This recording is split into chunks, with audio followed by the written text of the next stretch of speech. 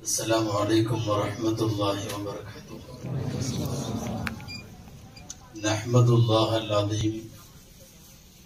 نصلي ونسلم على الرسول الكريم.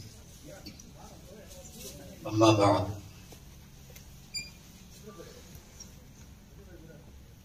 فقد قال الله سبحانه وتعالى في كلامه القديم والفرقان الحميد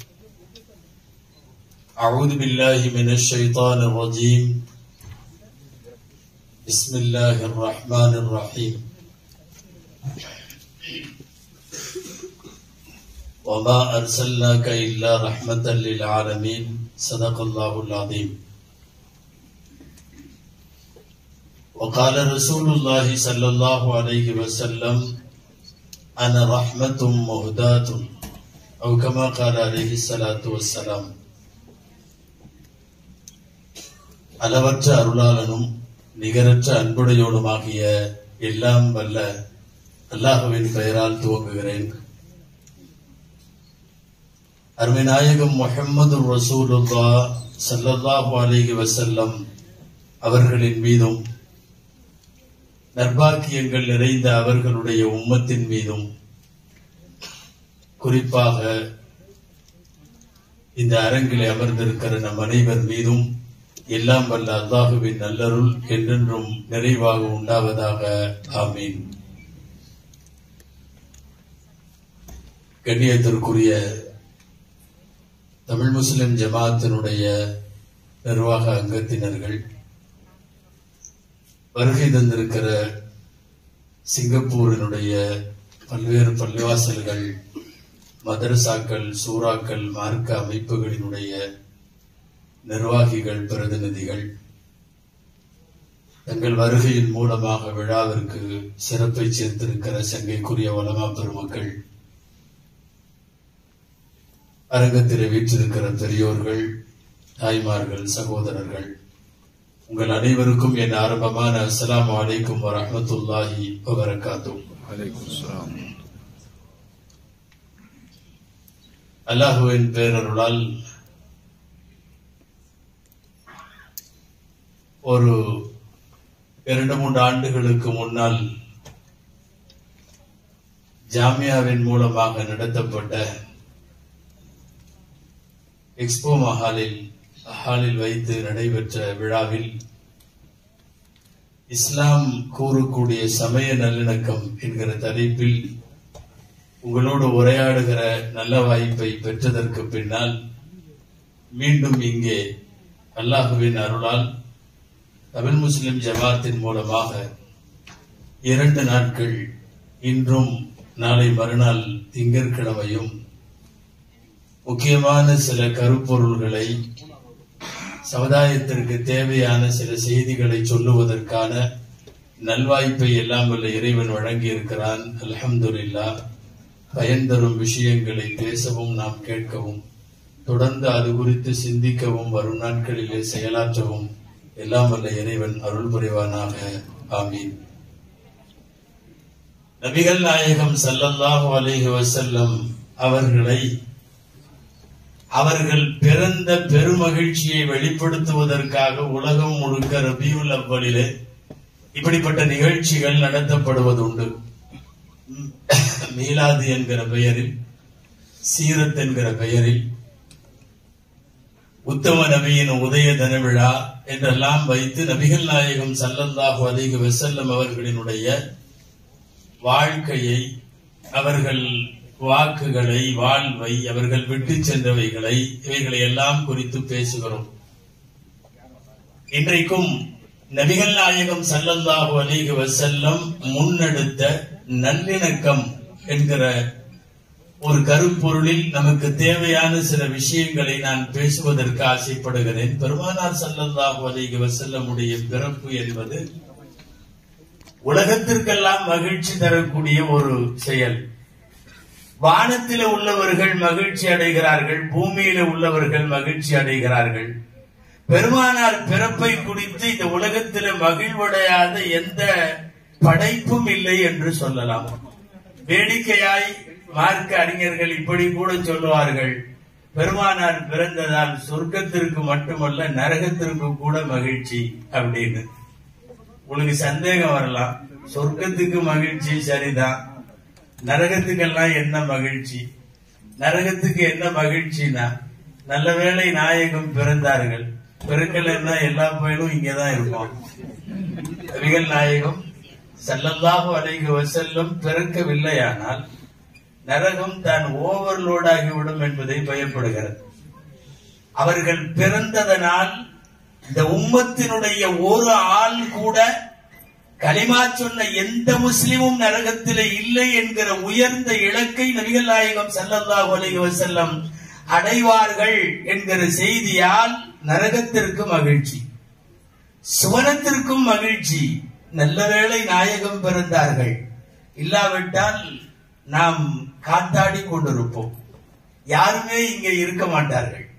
நம்மை நிறைவடைய செய்தது நபிகள் நாயகம் சல்லல்லாஹு அலிக செல்லம் என்கிற மகிழ்ச்சி சுவனத்திற்கு உண்டு. எல்லா படைப்பிற்கும் பெருமகிழ்ச்சி பெருமானாருடைய பிறப்பால். நான் மிகைப்படுத்தி சொல்லுவதாக நினைக்க வேண்டாம்.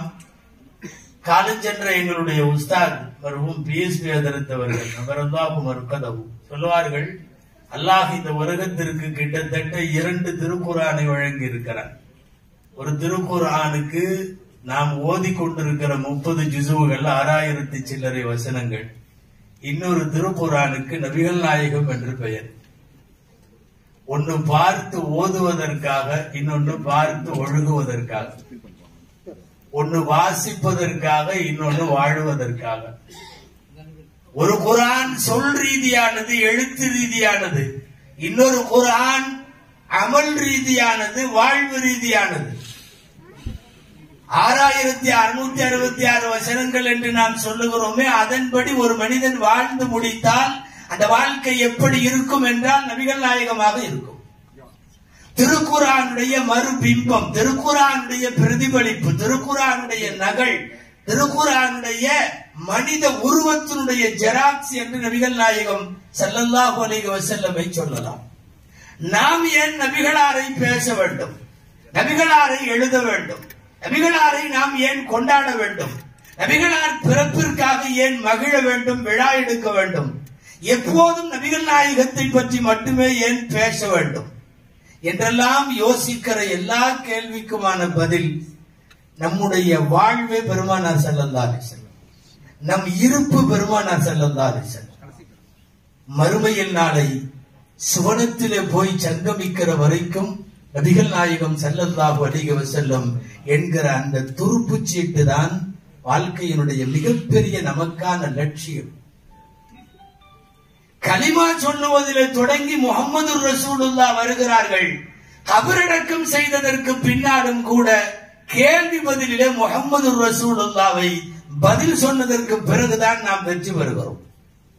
யாராவது ஒருவன் இஸ்லாமிலே சேருகிறான் லாயிலாக இல்லல்லாவை மாத்திரம் சொல்லி முடிக்கட்டும் அவன் முஸ்லீமாக முடியாது. முகமது ரசூலுல்லா இல்லாமல் இஸ்லாம் நிறைவடையாது. முகமது ரசூலுல்லா இல்லாமல் ஒருவன் முஸ்லீமாக முடியாது. பிறந்த குழந்தை நாமெல்லாம் பிறந்த உடனே நம் காதிலே அநேகமாக நம்ம தகப்பனார் பேர் தாயார் பேர் கூட நம்ம காதுல விழுகிறதுக்கு முன்னாடியே நம் காதுல விழுந்தது ரெண்டு பேர் தாங்க ஒன்னு அஷது அல்லா இலாக இல்லல்லா இன்னொன்னு அஷத் அல்ல முகமது ரசூலுல்லா. பக்கத்துல இருக்கிற பெரியவர்களோ மோதினாரோ ஆலிமோ வீட்டுல இருக்கிறவங்களோ குழந்தையை வாங்கி வாங்கு சொல்லுகிறேன் என்று முதன் முதலாக பிறந்த குழந்தைக்கு முதன் முதலில் எங்கள் காதில விழுவது அந்த பாங்கிலும் காமத்திலும் அஷது அல்லா இலாக இல்லல்லா என்பது விழும் அஷது அன்ன முகமது ரசூலுல்லா என்பது விழும். கொஞ்ச நாளைக்கு அப்புறம் தான் உன் தகப்பனார் பேர் இதுன்னு காதல் விழுகும். உன் தாயார் பேர் இது என்று காதில் விழுகும். எங்களுடைய பரம்பரையும் தாயும் தந்தையும் எல்லாம் கேள்விப்படுவதற்கு முன்னாலேயே நாங்கள் இந்த உலகத்திலே கேள்விப்பட்டது முகமது ரசூலுல்லா என்கிற பெயர். பிறந்த போது காதிலே விழுந்த பெயர் தான் காலமெல்லாம் களிமாவாக நகருகிறது. வாழ்க்கையாக நகருகிறது. நான் ஒரு முஸ்லிம் என்கிற அடையாளத்தோடு இருக்கிற போது நான் உண்ணுவது அவர்களைப் போல் உடுத்துவது அவர்களைப் போல் உறக்குவது அவர்களை போல் என்னுடைய நிக்கா என்னுடைய மௌத்து என்னுடைய விசேஷம் என்னுடைய நன்மை என்னுடைய தீமை எல்லாம் பெருமானார் செல்லந்தாக அலைஹி வாழ்க்கை முழுக்க பெருமானார் என்று ஆகிவிட்ட காரணத்தால் தான் முகமது ரசூலுல்லா ஸல்லல்லாஹு அலைஹி வசல்லமை நாம் உச்சத்தில் தூக்கி வைத்து கொண்டாடுகிறோம் உயரத்தில் வைத்து பேசுகிறோம். கபர்ல கொண்டு போய் வச்சதுக்கு அப்புறம் நாலஞ்சு கேள்வி. ஃபைனல் கொஸ்டின் லாஸ்ட்ல ஒன்னே ஒண்ணுதான். அதுக்கு ஆன்சர் சொல்லிட்டா தான் சொர்க்கம். இல்லைன்னா நரகம் நமக்கு தெரியும். என்ன கேள்வி தெரியுமா? அந்த துருவனமன் ஆதா ரசூலுல்லாஹுவின் படம் காட்டி கேட்பார்கள் இது யார்? முஸ்லிம்கள் வாயில் தானாக பதில் சொல்லுவார்கள் முஹம்மது ரசூலுல்லா ஜாஅனா பில் பையினாத்தி இவர் அல்லாஹுவுடைய தூதர் எங்களுக்கு இவர் நேர்வழியை கொண்டு வந்தார். நம்மளாம் சொல்லுவோமான்னு நினைக்க வேணாம் சொல்லிடுவோம். சில பேருக்கு அது சந்தேகம் நமக்கு அரபியில லாங்குவேஜ் ப்ராப்ளம் எல்லாம் இருக்கு. சென்னையில சாப்ட்வேர்ல வேலை செய்யற ஒரு பையன் வந்து எங்கிட்ட கேட்டார் திடீர்னு ஒரு நாள் யார் யாரோ என்னென்னமோ கேள்வி எல்லாம் கேட்பாங்க. அவங்களும் குழம்பி நம்மளும் குழம்பி. அது மாதிரி ஒருத்தர் கேட்டார் ஹசரத் மலக்குகளுக்கு இங்கிலீஷ் தெரியுமான்னு? அவங்களுக்கு இங்கிலீஷ் தெரியறத பத்தி உனக்கு என்ன பிரச்சனை? இல்ல எனக்கு இங்கிலீஷ் தான் தெரியும். சரி இப்ப என்னங்கிற? இல்ல அவங்க கண்ட வேற மொழியில எல்லாம் கேட்டாங்கன்னா நான் என்ன பதில் சொல்றது? சுருக்கமா என்ன சொல்ல போறேன் வழக்குகளை ஸ்போக்கன் இங்கிலீஷுக்கு போகணுமா? அவர்களுக்கு ஆங்கிலம் தெரிய வேண்டுமா? முஸ்லிமாக இருந்தால் அவர்களின் எல்லா கேள்விக்கும் பதில் சொல்லுவார்கள் முகம்மது ரசூலுல்லா என்கிற கேள்விதான் கடைசி கேள்வி அதுக்கு பின்னாடி கேள்வி இல்லை. நான் வேறு மாதிரி கூட சொல்லலாம். நீங்கள் மிகைப்படுத்துகிறேன் என்று நினைக்க வேண்டாம். கபர்ல நாலஞ்சு கேள்வி கேட்கறதா வருதல்ல. மர் ரப்புக பவன் நபியுக்க ஒமா தீனுக. இதெல்லாம் வந்து ஐடென்டிஃபை கொஸ்டின்ஸ் சொல்றோம்ல அறிமுகத்திற்காக உள்ள கேள்விகள். ஒரு கேள்விதான் உண்டு. அது ரசூலுல்லாவை பத்தி அவ்வளவுதான். மர்ரப்புக்கன்னு கேட்டா உலகத்துல எல்லாம் இருப்பான்.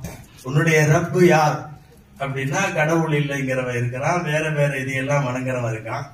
நாம இருந்தா சொல்லிடுவோம் என் ரப்பு அல்லா. அடுத்த கேள்வி ஒமா தீனுக? அல்லாவை ஏற்றுக்கொண்டது அபூஜகளும் ஏற்றுக்கொண்டான். பண்டைய யூத கிறிஸ்தவர்களும் கூட ஏற்றுக்கொண்டார்கள் அப்போ ஒமா தீனுக உன்னுடைய தீன் என்ன? என்னுடைய தீன் இஸ்லாம் என்று நாம தான் சொல்லுவோம். அங்க யகூதிகள் வெளியே போய் விடுகிறார்கள். நசராக்கள் வெளியே போய் விடுகிறார்கள். எல்லாம் வெளியே போய் விடுகிறார்கள்.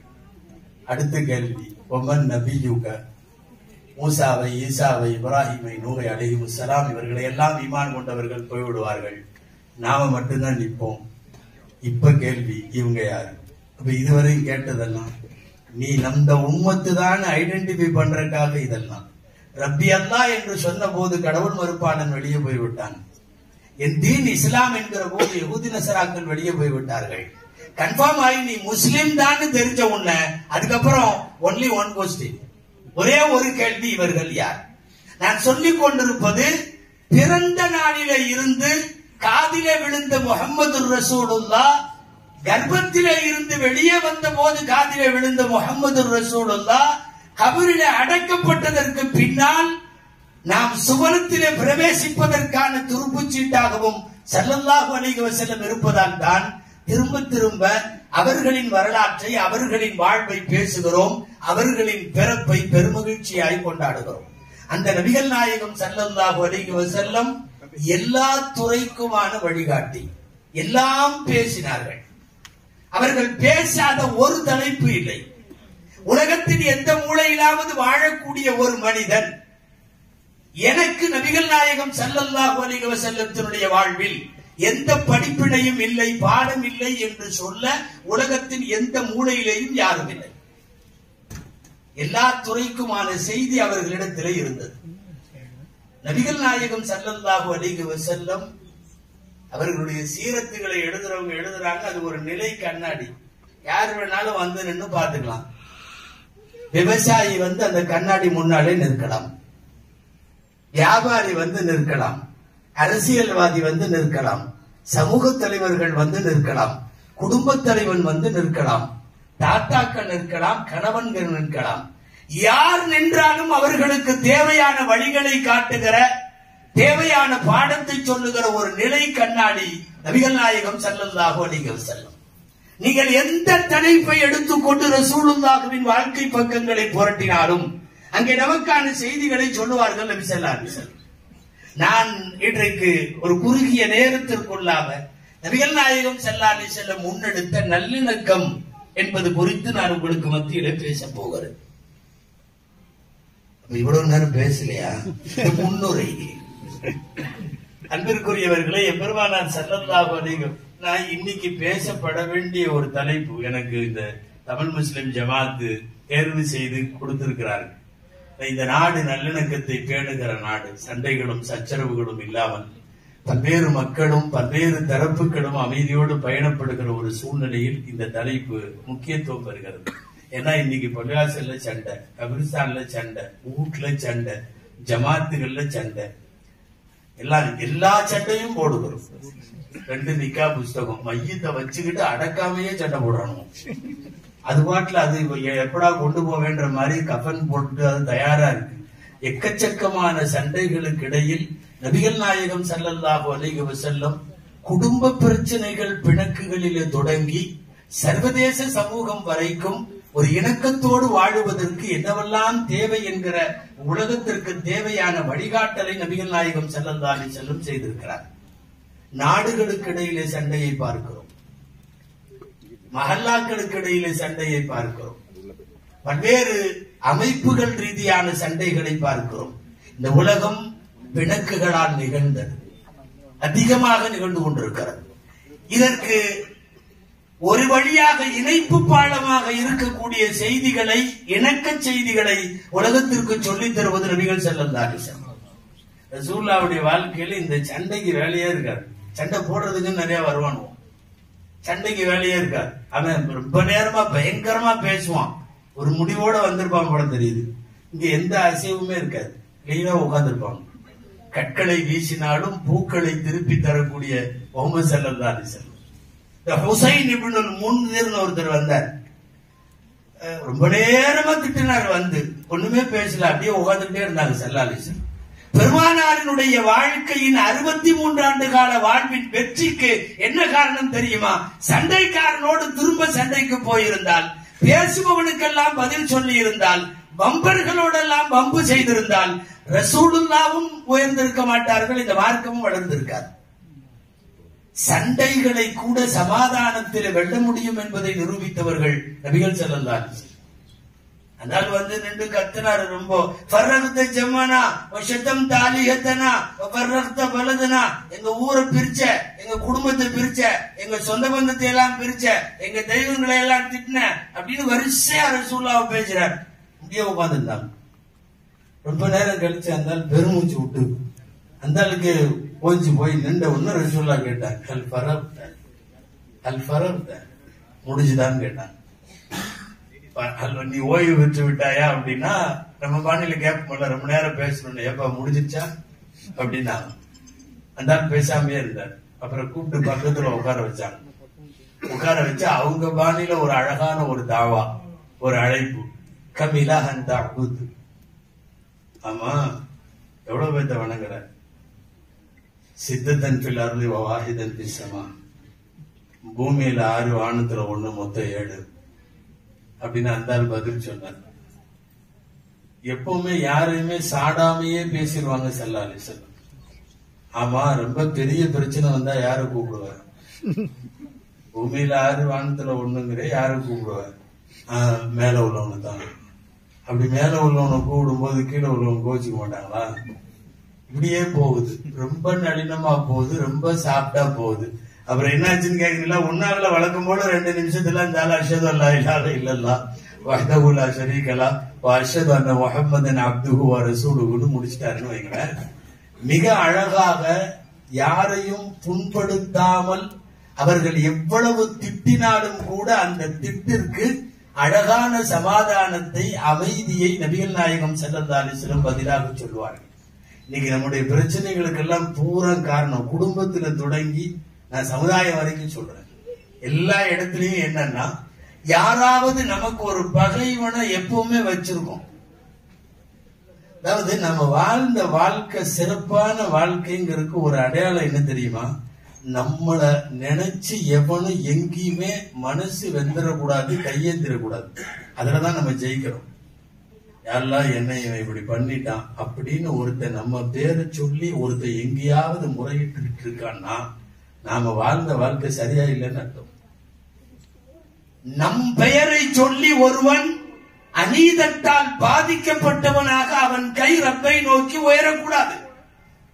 எல்லாருக்கும் இணக்கமாக வாழுவது என்கிற பாடத்தை முதலில் பெருமானாரிடத்தில் படிக்கலாம். ரசூலுல்லாவிடம் இருந்து தாடி வைப்பதை படித்தால் பத்தாது. ரசூலுல்லாவிடமிருந்து தலைப்பாகை கட்டுவதை படித்தால் பத்தாது. எங்கள் நாயகம் திருமணம் செய்தார்கள் எங்கள் நாயகம் சுரக்கா சாப்பிட்டார்கள் எங்கள் நாயகம் அத்தர் பூசினார்கள் எங்கள் நாயகம் இதை செய்தார்கள் அதை செய்தார்கள். இருக்கட்டும் பெருமானாருடைய சுண்ணாக்களிலேயே நபிகள் நாயகம் சல்லல்லாஹ் அலைஹி செல்லம் அவர்களுடைய சுண்ணத்துகளிலேயே ஆக உயர்ந்த சுண்ணத்து எது தெரியுமா?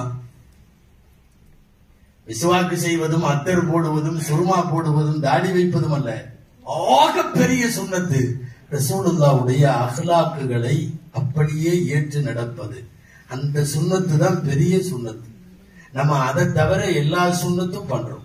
நல்லா தொப்பி போறாரு நல்லா தலப்பா கட்டுறாரு தாடி வச்சிருக்காரு எல்லாம் பண்றாரு வைக்கிறாரு நபி வழி அந்த வழி எல்லாம் சொல்றாரு. ரசூலுடைய அஹ்லாக் என்கிற நல்ல குணம் ஒண்ணு கூட இவர்கிட்ட இல்லை. எப்ப பார்த்தாலும் சண்டைக்காரரு எப்ப பார்த்தாலும் வலு வலுன்னு எரிஞ்சு விடுகிறாரு யார்கிட்டயா இருந்தாலும் அவர் வந்து சிடு சிடுன்னு இருக்காரு. இது இதுக்கு பேர் அஹ்லாக் அல்ல. நபிகள் நாயகம் செல்லல்லா அலிசலம் இந்த உலகத்திற்கு கொடுத்தது இஸ்லாமிய மார்க்கத்தில் முதலில் அவர்களின் குணம். நல்லா தெரிஞ்சுங்க. குரான்ல அல்லாஹ் ரசூருல்லாவுடைய எந்த செய்தி பாராட்டல. இதைத்தான் பாராட்டுறான் இன்னக்கல அலா குலுக்கின் அதீம் நாயகமே நீங்கள் மகத்தான உயர்ந்த நல்ல குணத்திலே இருக்கிறீர்கள்.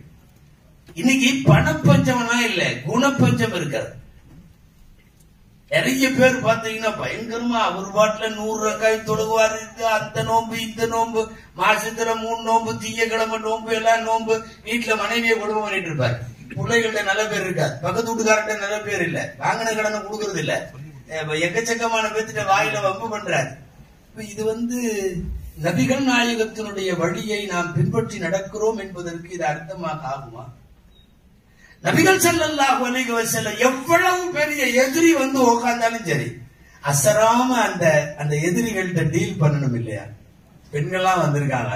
உங்களுக்கெல்லாம் தெரியும் இந்த அம்மையார்னு ஒரு வரலாறு தெரியுமில்ல. ரொம்ப மோசமா நடந்தாங்க.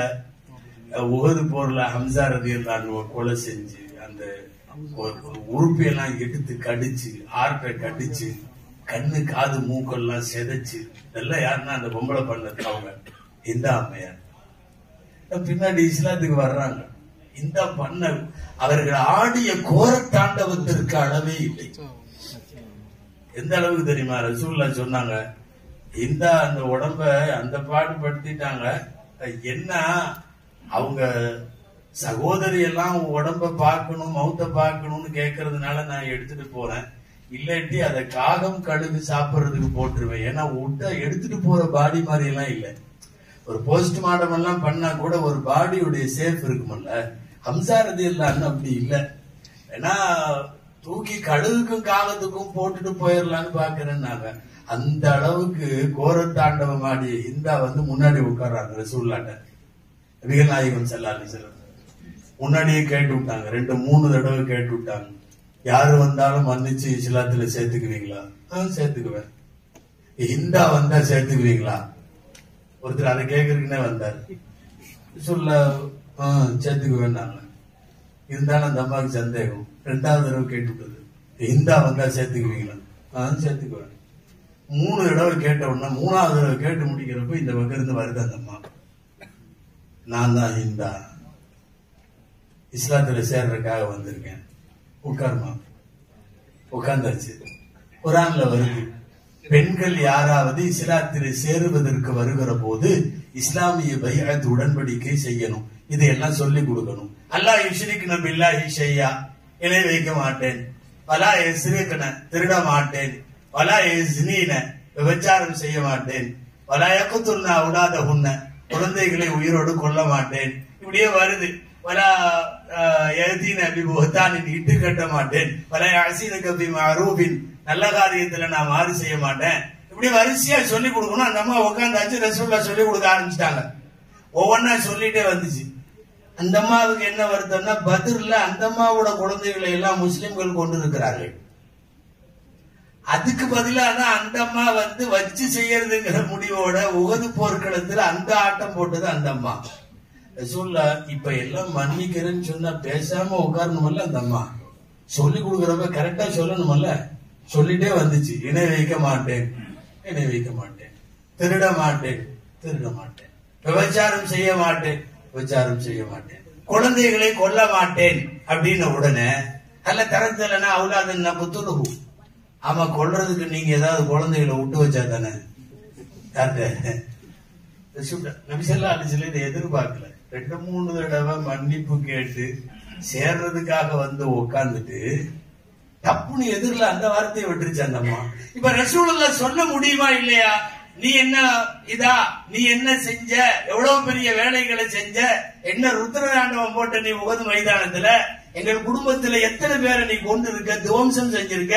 ஒன்னும் பேசல. அப்படியே உட்கார்ந்து இருந்தாங்க அதுதான் முகமது சல்லாஸ் நீங்க வாழ்க்கையில எந்த இக்கட்ல பார்த்தாலும் சரி ஒரு நேரத்திலே கூட சாதாரண மனிதர்களை உசுப்பி விடுவது போன்று நாயகத்தை உசுப்பிட முடியாது. நபிகள் நாயகம் ஸல்லல்லாஹு அலைஹி வஸல்லம் அவர்கள் வாழ்க்கை முழுக்க வைத்திருந்த நல்லிணக்கம் அது. கொஞ்ச நேரம் பேசாம உட்காது ஏன்னா அவங்களுக்கு தெரியும் இந்த பொம்பளையை கோவப்பட்டா சுருன்னு வரும் டக்குன்னு இறங்கிடும் தாய்மார்களும் வந்திருக்காங்கல்ல நம்ம கொஞ்சம் அப்படிதான் பேசி ஆகணும். வேகமா வரும்போது பயங்கரமா கோபம் வரும். வந்ததுக்கு அப்புறம் அந்த கோபம் வந்து ஆம்பளைகளுக்கு வேணா கொஞ்ச நாள் நின்றுக்கும். பொம்பளைகளுக்கு டக்குன்னு இறங்கி என்னமோ வேகமா கோபம் வந்துருச்சு அப்படிங்கிற மாதிரி. இந்த அவங்க அப்படிதான் வேகமா வந்தது. டக்குன்னு இறங்கிருச்சு. பொதுவாவே சொல்லுவாங்க அப்படிதான். நான் நகைச்சுவை சொல்ல பொம்பளைங்க கோபம் வந்து டபக்குன்னு இறங்கிடும் அப்படிங்கிற மாதிரி. டக்குன்னு சுதாரிச்ச அந்த அம்மா சொல்லுச்சு நான் தெரியாம பண்ணிட்டேன். நீங்க எனக்கு இந்த இஸ்லாமிய பையத்துடைய வாசகத்தை இன்னொரு தடவை சொல்லிக் கொடுங்க அப்படின்னு கேட்டது. நபிசல்லா அலி செல்லும் மீண்டும் முழுமையாக சொல்லிக் கொடுத்து அந்த அம்மாவை இஸ்லாத்திலே சேர்த்துக்கிறாங்க பெருமானார் ஸல்லல்லாஹு அலைஹி செல்லும் வாழ்க்கையில இருக்கிற இந்த இணக்கம் தான். சின்ன பசங்கள்லாம் சண்டை போட்டா யாராவது ஒரு பெரியவங்களை கூப்பிட்டு பஞ்சாயத்து பண்ண வைப்பாங்க. இந்த பசங்க எல்லாம் சண்டை போட்டுக்கிறாங்க. நீங்க பெரிய மனுஷன் அவங்களை கொஞ்சம் பஞ்சாயத்து பண்ணுங்கன்னு. ரசூல்லாவுடைய முப்பத்தி மூணாவது வயசுல நடந்தது உங்களுக்கு தெரியும் வித்தியாசமானது. பெருசுகள்லாம் சண்டை போட்டுக்கிச்சு. அந்த அந்த உங்களுக்கு தெரிஞ்ச மேட்டர் தானே? இந்த ஹஜருல் அஸ்வதை தூக்கி யாரு வைக்கிறது காப்பாளன்னு நானு நெய்யி நானு நெய்யின்னு எல்லாம் ரசூலுல்லா பஞ்சாயத்து செய்கிறார்கள். இவா வா எல்லாரும் சேர்ந்து துண்டை விரிச்சு கல்ல தூக்கி வை அத்தனை பேரும் சேர்ந்து குடிப்போம். எல்லாம் சேர்ந்து வைப்போம். மாற்று மதத்தை சார்ந்த குறிப்பாக கிறிஸ்தவ சமயத்தை சார்ந்த அறிஞர் பெருமக்கள் எல்லாம் எழுதுகிறார்கள். முப்பத்தி மூணு வயசுல சண்டை போட்ட ஊர் தலைவர்களை எல்லாம் ஒரு துண்டை விரித்து வைத்து அவர்களை எல்லாம் பிடிக்க சொல்லி ஊரே ஒன்றுபட்டு அஜருல் அசுவதிலே கல்லை எடுத்து வைத்த போதே முகம்மது எவ்வளவு பெரிய சமாதானத்திற்கான தலைவர் நல்லிணக்கத்திற்கான தலைவர் என்பதை சல்லல்லாஹு அலைஹி நிரூபித்து விட்டார்கள் வழி பூரா எங்க எல்லாம் சண்டை நட ஐநூறு வருஷம் சண்டை மதீனாவில உள்ள நுழைஞ்ச பத்து நாள்ல க்ளோஸ். கூப்பிட்டு விட்டு பேசி என்ன சண்டை என்ன பிரச்சனை இங்க வா. அவனுங்க அவனுங்களை அவ்வளவு சீக்கிரம் வந்து அந்த கால அரபிகளை வந்து சண்டை போடாம இருக்கான் சாப்பிடாம கூட இருப்பான். சண்டை போடாம இருக்க மாட்டான். அவனுக்கு டெய்லியும் ஒரு சண்டை போடணும். நாமெல்லாம் யார்கிட்டயாவது ஒரு சண்டை போட்டோம்னா பேசுவோம்ல வாசகம் உன்னை அப்படி பண்றேன் பாரு இப்படி பண்றேன் பாரு. அதை கழட்டுறேன் இதை கழ சொல்லுவோம்ல.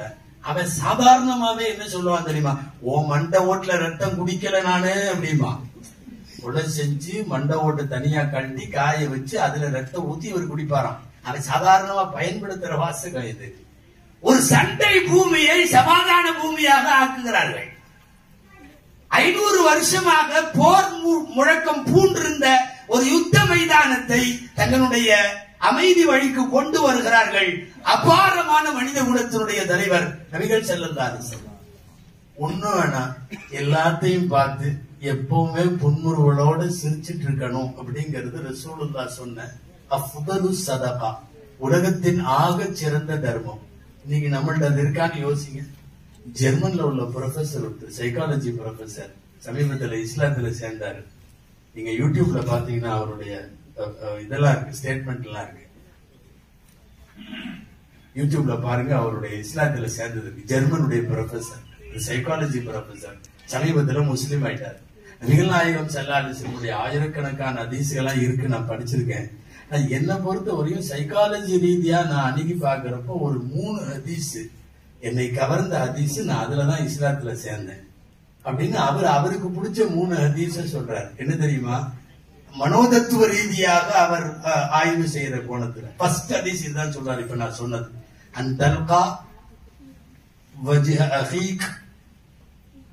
சதகா. உன்னுடைய சகோதரனுடைய முகத்தை புன்முறுவலோடு புன்னகையோடு நீ பார்க்கிறது உலகத்தில் ஆகச் சிறந்த சதகா. அவர் சொல்றாரு உலகத்துல யதார்த்தமாக எல்லாரும் சிரிச்ச முகத்தோட எதிர்கொள்றதுன்ற மாதிரி இருந்துட்டாருன்னா தொண்ணூறு சதவீதம் பிரச்சனை முடிஞ்சு. நம்மள சில பேர் என்ன நடந்தாலும் சிரிக்க மாட்டாங்க. இஞ்சி சாப்பிட்ட மாதிரியே இருப்பார் அவர். வெளி வெளியில அப்படி இருந்தாலும் பரவாயில்ல. வீட்டுக்குள்ளேயும் அப்படியே இருப்பார். நீ குடும்பத்துல இருக்கிறியா இல்ல ஏதாவது ராணுவ முகாம்ல இருக்கியா? அங்க மனைவி மக்கள் குடும்பம் குழந்தை பேரன் பேத்தி சிரிக்க வேணாமா? ரசூலுடைய சுண்ணத்துங்கிறது தாடியும் தலப்பாவும் மட்டும் இல்லையே நான் சொன்ன மாதிரி அஹ்லாக்கு தானே. அந்தல்கா அகாக்க உன்னுடைய உன்னுடைய சகோதரனை நீ வந்து அஹ், தலக்கின் ஹசன் விவஜியின் தலக் புன்முறுவல் பூத்த முகத்தோடு சந்திக்குதல். சிரிக்கணும். எல்லாரையும் எல்லாரும் புன்னகையோடு அணுகுவது என்ற முடிவுக்கு வந்து விட்டாலே எக்கச்சக்கமான பிரச்சனை போயிடும். அது ஜெர்மன் பிரபசர் சொல்றாரு எனக்கு ரெண்டாவது என்னை கவர்ந்த மனோதத்துவ ரீதியாகவும் நான் வந்து எக்கச்சக்கமான குடும்பங்களுக்கு கவுன்சிலிங் தர்றேன். நபிகள் ஆயுதத்தினுடைய ஒரு வார்த்தை அந்த சதகா. உன் மனைவியின் வாயில் நீ ஊட்டி விடக்கூடிய ஒரு அன்பாக நீ ஊட்டி விடுவோம் ஒரு கவலம் ஒரு உணவு. அது உலகத்தில் சிறந்த தர்மம். புன்னகையோடு பூக்கிறது தர்மம் மனைவி வாயில ஊட்டி விடுறது தர்மம். நபிகள் ஸல்லல்லாஹு அலைஹி செல்லம் ஊட்டி விட்டார்கள் கொஞ்சம் அப்படியே ஒரு பிளாஷ்பேக் யோசிச்சு பாருங்க கடைசியா எப்ப நம்மள்ட்ட நடந்ததுன்னு. கண்டிப்பா கல்யாணம் ஆன புதுசுலையா இருக்கும். தமிழ்ல ஓகம் முப்பது நாள் ஆசை அறுபது நாளுன்னு சொல்லுவாங்க. அந்த அந்த ஃபர்ஸ்ட் ஒரு மாசம் பாத்தீங்கன்னா அடாடாடா இவர் அங்க ஊட்டுறதும் அந்த அம்மா இவருக்கு ஊட்டுறதும். ராத்திரி ஒரு மணி ஆனாலும் அந்த அம்மா சாப்பிடாம உட்காந்துருக்கும் என்னம்மா நீ சாப்பிடலையா? இல்ல நீங்க இல்லாம நான் எப்படி சாப்பிடுறது? எல்லாம் கொஞ்ச நாளைக்கு அப்புறம் எங்கேயாவது அது எரிஞ்சிருக்கும் நம்ம சாப்பிட்டு. நபிகள் நாயகம் செல்லல்லாஹு அலிக வஸல்லம் கதீஜா அம்மையாருக்கு ஊட்டி விட்ட போது அவங்க வயசு அறுபதுக்கு மேல. அறுபதுக்கு மேல. அதாவது புது பொண்ணாக தோல் சுருக்கம் இல்லாமல் உடல் வனப்போடு அழகோடு முகப்பொலிவோடு இருக்கிற ஒரு பொண்ணுக்கு ஊட்டி விடுறத பத்தி இல்ல. மனைவி வாயிலே ஊட்டி விடுவது என்பது பல்லாண்டு காலங்கள் வாழ்ந்ததற்கு பின்னாலும் அவள் அவள் பிள்ளைகள் எல்லாம் பெற்று தேய்ந்ததற்கு பின்னாலும் அவள் முக முகச்சுருக்கம் எல்லாம் வந்து பொலிவெல்லாம் போனதற்கு பின்னாலும் அவள் அழகு குறைந்தாலும் கூண் விழுந்தாலும் அவள் கிழவியானாலும் நினைப்பு என்ன வர வேண்டும் தெரியுமா? உன்னோடு வாழ்ந்து அவள் கிழவியாயிருக்கிறாள். உன்னோடு வாழ்ந்து அவள் மூதாட்டி இருக்கிறாள் மூதாட்டி ஆயிருக்கிறாள் உனக்கு பிள்ளை பெற்று அவள் இப்படி ஆயிருக்கிறாள். அறுபத்தஞ்சு வயசு கதீஜா அம்மா வஃத் ஆகிற போது அந்த நாட்கள் வரைக்கும் பெருமானார் ஸல்லல்லாஹு அலைஹி செல்லம் அவர்கள் மனைவிக்கு ஊட்டுவதும் மனைவி அவர்களுக்கு ஊட்டுவதும். உலகத்தின் சிறந்த தர்மத்தினுடைய பட்டியலிலே நாயகம் சொல்லுகிறார்கள் நீங்க வந்து அப்படி ஊட்டி விடுறது மிகப்பெரிய சதகா. ரசூல்லா சொல்லிட்டு இருந்தாங்க சபையில. ஒரு சஹாபி உட்கார்ந்துட்டார். அவருக்கு அபூதர் அப்படின்னு பேர். அபூதர் நீங்க கேள்விப்பட்டிருப்பீங்க. அபு அபூதர் உள்ள கிஃபாரி ரதியல்லா ரொம்ப இறுக்கமான சஹாபி. நான் அப்படியே சொன்னேன்ல சிரிக்கவே மாட்டாருன்னு. அந்த அதுல உள்ளவர். சிரிக்க மாட்டாரும் இல்ல ஊர்ல உள்ளவன்ட்டு சண்டைக்கு போவார். எவனாவது ஒரு நாலு ட்ரெஸ் வச்சிருந்தா அவன்கிட்ட போய் சண்டைக்கு போவார். நீ எல்லாம் அல்லாட்ட என்ன பதில் சொல்லுவ? நாலு துணி வச்சிருக்கீங்க நீ எல்லாம் உருப்பிடுவியா?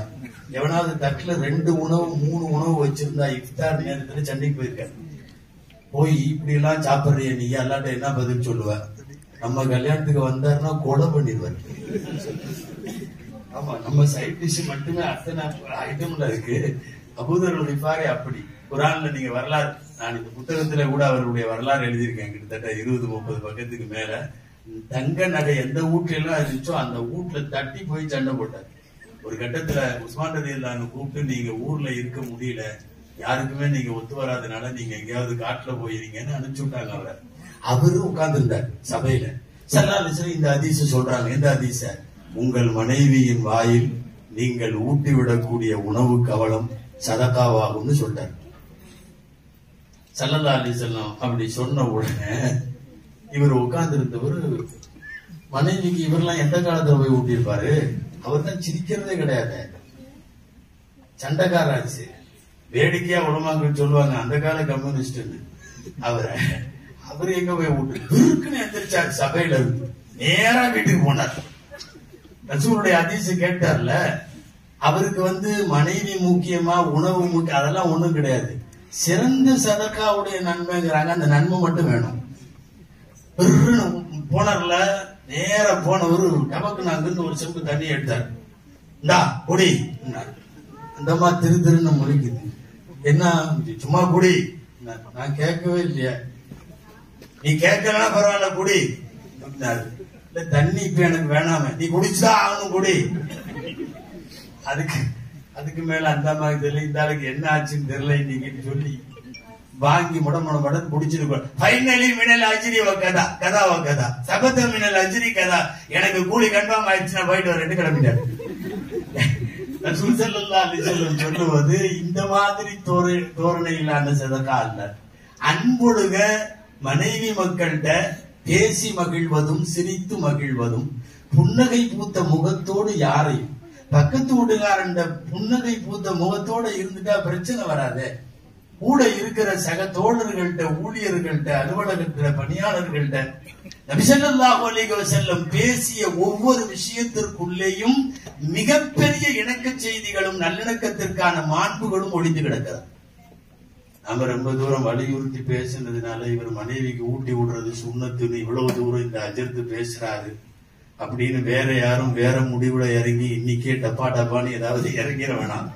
கொஞ்சம் எதையும் யோசிச்சு செய்ய சில நேரம் வந்து நாம அது சுண்ணத்துன்ட்டு யாரும் அங்கிருந்து பயங்கரமான வார்த்தை வந்துரும். ஆமா. இது ஒண்ணுதான் குறைச்சான்னா முடிஞ்சு.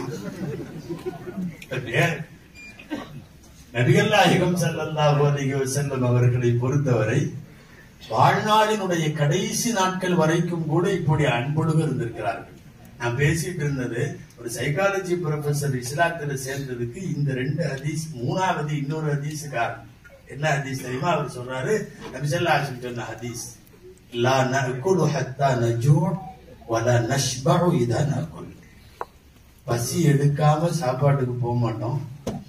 சாப்பாட்டுக்கு போய் உட்கார்ந்துட்டா கொஞ்சம் காலி இருக்கிறப்பவே எந்திரிச்சிடும் இது உலகத்தினுடைய மிகப்பெரிய ஆரோக்கியத்திற்கான தத்துவம். அவர் அஹ், மனோதத்துவ ரீதியா அணுகிறனால அவருக்கு பெருசா தெரிஞ்சிருக்கலாம்.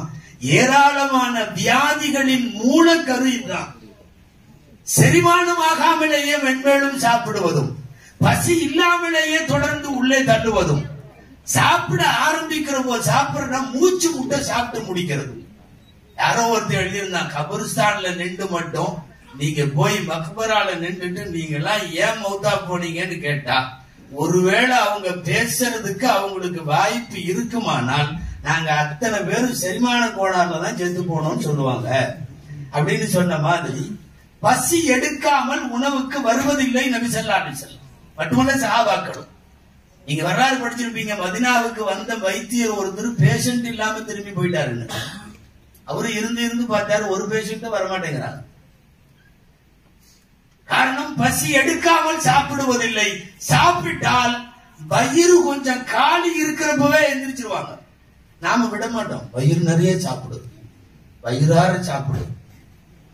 வயிறு நிறைய வியாதிகளில் அத்தனை வியாதிகளுக்குமா நீங்க உலகம் பூரா நீங்க அது சுகர் பிரஷரா இருக்கட்டும் வேற ஏதாவது பெரிய பெரிய வியாதிகளா இருக்கட்டும் எந்த வியாதிக்கு நீங்கள் மருத்துவர்களை போய் பார்த்தாலும் உணவு கட்டுப்பாடு ஒன்று மட்டும்தான் இதற்கான தீர்வு.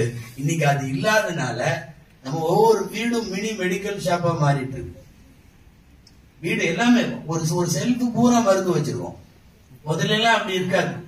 நான் நம்ம ஊர் பகுதிகளில் சொல்றேன். ஒரு ரெண்டு மூணு மாத்திரை சொல்லுவாங்கல்ல அனாசின்னு மெட்டாசின் என்னமோ ரெண்டு மூணு வாரத்துக்கு ஆஸ்பிரின் இப்படிலாம் ஒரு ரெண்டு மூணு வாரத்துக்கு சொல்ல அது மட்டும்தான் இருக்கும். அது மளிகடையிலே கிடைக்கும். மருந்து கடை கூட போக வேண்டியதில்லை. இதை தவிர வேற மருந்துகளே தெரியாம வாழ்ந்தவர்கள் இருக்கிறார்கள். இன்னைக்கு எல்லாம் மெடிக்கல் ஷாப் வீடு பூரா. செல்ஃப் செல்ஃபா இருக்கு. இதெல்லாம் வாப்பாவும் அம்மாவுக்கு இதெல்லாம் பிள்ளைகளுக்கு இதெல்லாம் எங்களுக்கு இதெல்லாம் சளி காய்ச்சல் தனித்தனியா செக்ஷன் வாரியா ஒதுக்கிருக்கும் பசி எடுக்காமல் சாப்பிடுவதில்லை. சாப்பிட்டால் வயிறு நிறையும் வரை சாப்பிடுறதில்லை. காலை இருக்கிறப்பவே எந்திரிச்சிடுறது.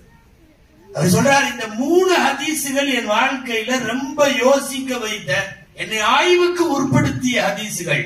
சொல்ல போனா நான் இஸ்லாத்துக்கு வர்றதுக்கு என்ன காரணம்னு நீங்க நபிமொழிகளை கேட்டா நான் இந்த மூணு மட்டும்தான் எழுதி தருவேங்கிறார்.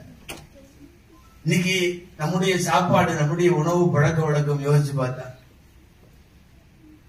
நம்ம ஊர்ல ஒரு அஜித் இருந்தார் ஆலிம் சார். பட்டணத்தாமோட ஆலிம் சொல்லுவாங்க அவர். அவங்க குடும்பத்துல அவர் பேரு பட்டணத்தாமோட அஜித்துன்னு பேர். அவருக்கு ஏதோ சுகர் வந்துருச்சு கொடுத்துருது டாக்டர்கிட்ட போனார். அவரு போய் டாக்டர் உட்கார்ந்த ஒண்ணு அவரு பட்டணத்தாமோட அஜித்துங்கிறவர் திருப்தியா சாப்பிடுவார். ரொட்டி இப்படி அடுக்கி வச்சு சாப்பிடுறாங்க. இப்படி அடுக்கி வச்சு சாப்பிடுறது.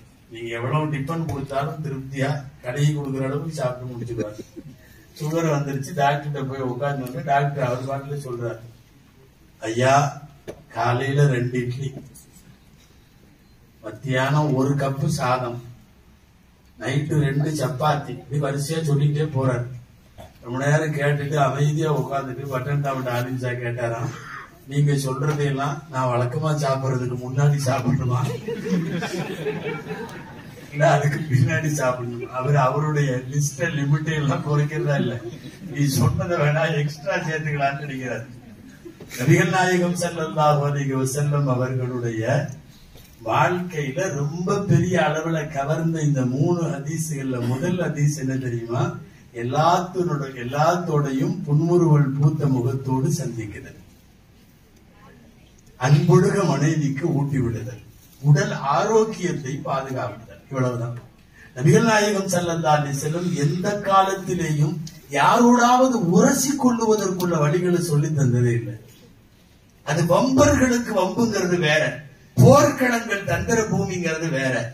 ஒரு ஒட்டுமொத்த பல்லிணக்க மக்கள் வாழுகிற பல்லின சூழலில் எப்படி வாழ வேண்டும்? மதீனாவில யூதர்கள் வாழ்ந்தார்கள். மதீனாவில நசாராக்கள் வாழ்ந்தார்கள். மதீனாவில மஜூசிகள் வாழ்ந்தார்கள். மதீனாவில முனாஃபிக்குகள் வாழ்ந்தார்கள். மதீனாவில முஸ்லிம்களும் ரசூலுல்லாவோடு வாழ்ந்தார்கள். அடுத்த மதத்தினுடைய இருப்பை ஏற்றுக்கொள்ளுவது என்கிற பக்குவம் எங்கு வருகிறதோ அங்குதான் நல்லிணக்கம் வரும். இந்த நாட்டில் நீங்கள் இருப்பதை போல. முஸ்லிம்கள் இருக்கிறார்கள் மற்றவர்கள் இருக்கிறார்கள் சீனர்கள் இருக்கிறார்கள் மலாய்கள் இருக்கிறார்கள் எல்லாம் இருக்கிறார்கள்.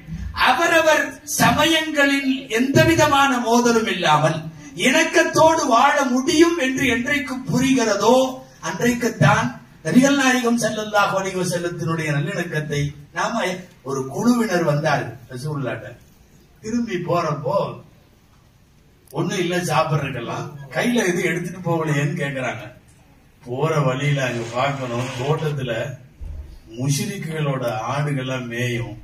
நாங்க பாத்துக்கிறோம் சொல்லிட்டு போறாங்க. அங்க பண்ணா பூரா விட்டு ஆட்டை எடுத்து அல்லாவுக்கு ஒரு சொல்லி அறுத்துறதுன்ற முடிவுல நபிசல்லாசன் சொன்னாங்க இஎன்ஆர் மூணு தடவை சொன்னதா இந்த ஹதீஸ் வரும் இஎன்ஆர் அது நெருப்பு அதை தொடக்கூடாது.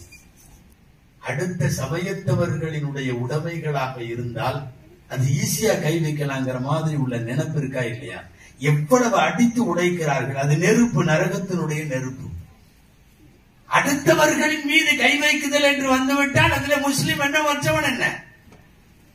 மதங்களை கடந்தும் கூட மனிதநேயத்தோடு அணுகுகிற மனப்பான்மை என்பது யார்கிட்டும் படிக்க வேணாம். முதல்ல பெருமானாரிடத்துல படிக்க வேணும். அபுபக்கர் ரெண்டு மனைவி.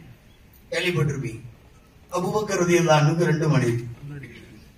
அதுல ஒரு மனைவி முஸ்லீம் ஆகல.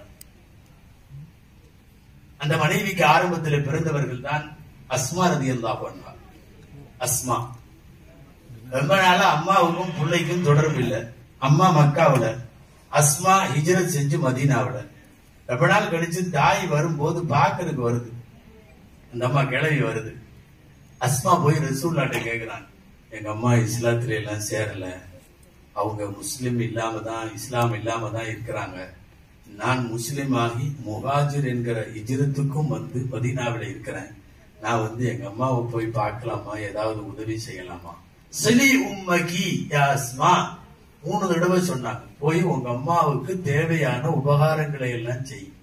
அவர்களோடு சிலா என்று சொல்லக்கூடிய உறவு முறை பேண வேண்டும் என்று வலியுறுத்தி அனுப்பி வைக்கிறார்கள் நபிகள் நாயகம் ஸல்லல்லாஹு அலைஹி வஸல்லம். எந்த ஒரு சூழலிலும் நம்மை சுற்றி இருக்கிற யாரிடத்திலேயும் கூட இணக்கத்திற்கு குறைவில்லாம நடக்குது. சில பேர் அப்படி ஒரு ஒரு அடையாளத்தை குத்திக்குவாங்க. உதவிங்கன்னா கூட முஸ்லிம்களுக்கு மத்திரம் செய்யறது. எங்க இருக்கு அப்படி? இல்ல நான் பொதுவா கேட்கிறேன் மார்க்கத்தை மட்டப்படுத்துவதாக நினைக்க வேண்டாம்.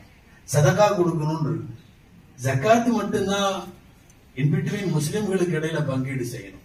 சதக்காங்கிறது முஸ்லிம்களுக்கு மட்டுமல்ல எல்லா சமயத்தவர்களுக்கும் கொடுக்கலாம். கொடுக்கலாம் இல்ல கொடுக்கணும். சில பேர் அது உண்டு. ரத்தம் கொடுக்கறதுன்னா இவங்கள பார்ப்பாங்க. அதே மாதிரி உதவி செய்யறதுன்னா அவங்கள பார்ப்பாங்க. அவங்க முஸ்லீமா இருந்தா உதவி செய்யலாம் இல்லாட்டி உதவி செய்ய வேணாம். இது வந்து மார்க்கத்தினுடைய பேரையும் சேர்ந்து கெடுக்கிற மாதிரி உள்ள வேலை. எங்கேயுமே அங்கெல்லாம் உதவி செய்யற இடங்கள்ல முஸ்லிம்கள் மாத்திரம்னு சொல்லி மென்ஷன் பண்ணல குரான்ல. கொஞ்சம் அதை கவனிக்கணும். அதிலும் கூட சமய நல்லிணக்கத்தை மிக அதிகமாக பேசப்படுகிற தேவைப்படுகிற இந்த சூழல்ல முஸ்லிம்கள் முன்னெடுக்கிற அடுத்த சமயத்தவர்களுக்கான உதவிங்கிறது தான் ரொம்ப பெரிய அளவுல நம்ம பேரை கொண்டு வந்து நிறுத்தும். உங்களுக்கு எல்லாம் தெரிஞ்ச சூறா. அரைத்தல்லதி யுகர்திபு வித்தீன் சும்மா அப்படி கூட மெதுவா ஓதுங்களேன்